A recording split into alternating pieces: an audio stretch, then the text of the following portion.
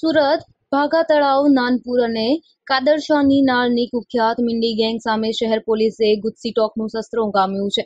કોટ વિસ્તારમાં છેલ્લા બે દાયકા ઉપરાંતથી આતંક મચાવતી આ ગેંગ સામે આઠવા પોલીસે ગુનો દાખલ કરી સાતની અટકાયત કરી છે. શહેરમાં કાયદો વ્યવસ્થા સામે હંમેશા પડકાર બનતી બેંકની સામે સુરત પોલીસ દ્વારા સક્રિય રીતે કામગીરી શરૂ કરવામાં આવી છે.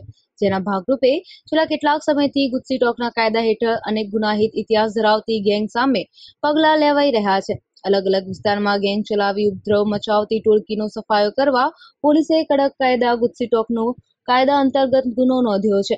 કુખ્યાત ટામેટા gang Ganjipara Altaf gang Nagori gang Lalu Jalim gang Bunty Dayavan Keliya gang Sajju Kothari Maniya ડુક્કર gang સામે ગુસ્સી ટોક દાખલ કર્યો હતો હવે શહેર પોલીસે કોટ વિસ્તારની કુખ્યાત મિંડી ગેંગ સામે ગુસ્સી ટોકનું શસ્ત્ર ઉગામ્યું છે છેલ્લા બે દાયકા ઉપરાંતથી આરિફ મિંડી અને તેની ગેંગ ભાગર તળાવ નાનપરા કદારચીની નાળ સહિતના વિસ્તારોમાં દાદાગીરી કરતી હતી આ ટોળકી સામે હત્યા, હત્યાની કોશિશ, લૂંટ, ખંડણી, અપહરણ, હપ્તા વસૂલી, મારામારી, ધાકધમતી ઉપરાંત મિલકત પર કબજા, લેન્ડ ગ્રેબિંગના ગુના પણ નોંધાઈ ચૂક્યા છે. મિંડી ગેંગ પચીસથી વધુ ગંભીર ગુનાઓનો ઇતિહાસ ધરાવતી ગેંગના આતંકથી સ્થાનિક લોકો ત્રસ્ત થઈ ગયા હતા. મિંડી ગેંગ પોલીસ તથા પાલિકાની ટીમ પણ હુમલો કરવામાં કુખ્યાત છે.